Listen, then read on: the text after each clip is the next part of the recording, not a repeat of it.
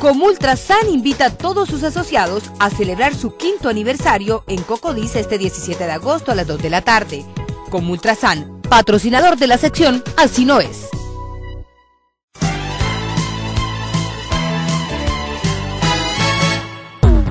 Según el televidente que nos envía este video, esta moto que se aprecia aquí es de la Policía Nacional que seguía a una pareja que se transportaba en una moto y había evadido un retén de la policía.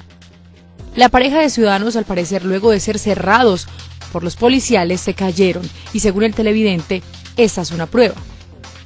Es claro que no está bien evadir un retén de la autoridad, eso se llama desobediencia.